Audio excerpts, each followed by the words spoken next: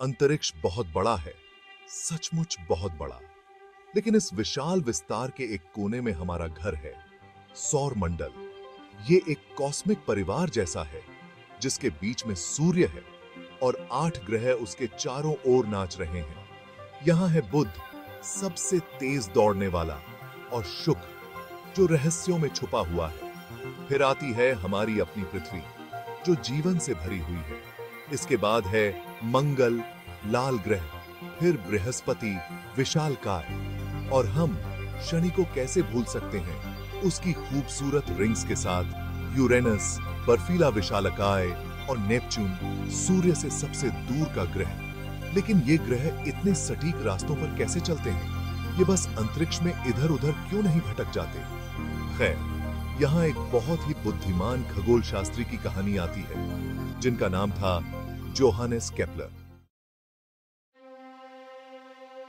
कल्पना करो एक जासूस की, लेकिन धरती पर अपराध हल करने की बजाय, ये जासूस आसमान के रहस्यों को सुलझाने की कोशिश कर रहा था। वो थे जोहानेस केपलर एक बहुत ही बुद्धिमान व्यक्ति जो सैकड़ों साल पहले रहते थे। केपलर ग्रहों की गति से बहुत आकर्षित थे। उन्होंने तारों का अध्ययन किया, बहुत ध्यान से अवलोकन किए और संख्याओं का विश्लेषण किया। और ये सब कुछ उन्होंने ब्रह्मांड को चलाने वाले नियमों को खोजने के लिए किया। और केपलर ने क्या खोजा? उन्होंने पाया कि ग्रह बस यूँ ही इधर उधर नहीं घूमते। उनकी गति कुछ खास नियमों का पालन करती है। गणितीय पैटर्न जो अंतरिक्ष में हर जगह फैले हुए हैं। ये पैटर्न केपलर के ग्रहों की गति के नियम कहलाए। और इन्होंने हमारे सौर मंडल की समझ को पूरी तरह से बदल दिया। केपलर से पहले। बहुत से लोग मानते थे कि ग्रह सूर्य के चारों ओर बिल्कुल गोल चक्कर लगाते हैं, लेकिन केपलर के अवलोकनों ने कुछ अलग ही बताया। उन्होंने खोजा कि ग्रह असल में दीर्घवृत्त कक्षाओं में यात्रा करते हैं, जो कि थोड़े से चपटे गोल आकार होते हैं। कल्पना करो, एक रेस ट्रैक, जो अंडे के आकार का है, बिल्कुल गोल नहीं। ग्रहों की कक्षा भी कुछ ऐसी ही होती है।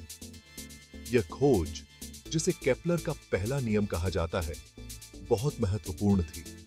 इसका मतलब था कि ग्रह की सूर्य से दूरी हमेशा एक जैसी नहीं रहती। कभी कभी यह सूर्य के पास होता है और कभी कभी यह दूर होता है, और यह दूरी का अंतर ग्रह की गति को प्रभावित करता है, जब यह अपनी कक्षा में घूमता है। भाग चार। एक कॉस्मिक डांस केपलर का दूसरा नियम। कल्पना करो, एक आइस स्केटर बर्फ़ पर घूम रहा है। जब वो अपने हाथों को अपने शरीर के पास खींचता है तो वो तेज़ी से घूमता है है ना? ग्रह भी अंतरिक्ष में कुछ ऐसा ही करते हैं। जैसे ही कोई ग्रह सूर्य के करीब आता है, उसकी गति तेज हो जाती है, और जैसे ही यह दूर जाता है, इसकी गति धीमी हो जाती है। केपलर का दूसरा नियम, समान क्षेत्रफल का नियम, इसे बहुत ही खूबसूरती से समझाता है। कल्पना करो एक रेखा जो सूर्य को एक ग्रह से जोड़ती है। जैसे जैसे ग्रह अपनी कक्षा में घूमता है, यह रेखा एक क्षेत्रफल बनाती है, जैसे एक विशाल कॉस्मिक पाई का एक टुकड़ा। केपलर ने महसूस किया कि समान समय अंतराल के लिए यह क्षेत्रफल हमेशा समान रहता है। इसलिए जब ग्रह सूर्य के करीब होता है और रेखा छोटी होती है तो ग्रह को समान क्षेत्रफल बनाने के लिए तेज़ी से घूमना पड़ता है। भाग पाँच, आकाश में सामंजस्य। केपलर का तीसरा नियम।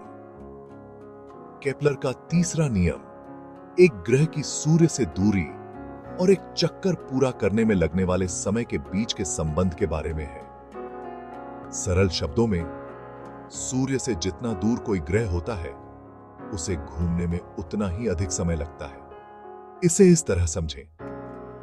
कल्पना करो कि आपको एक छोटे से पार्क के चारों ओर और फिर एक बहुत बड़े पार्क के चारों ओर घूमना है। बड़े पार्क के चारों ओर घूमने में आपको अधिक समय लगेगा, है ना?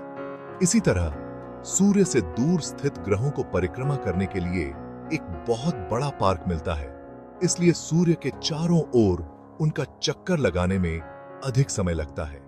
केपलर ने इस संबंध की गणना के लिए एक सटीक गणितीय सूत्र भी खोज निकाला, जिससे ब्रह्मांड को समझने के हमारे नज़रिए में एक सुंदर सामंजस्य आम्ही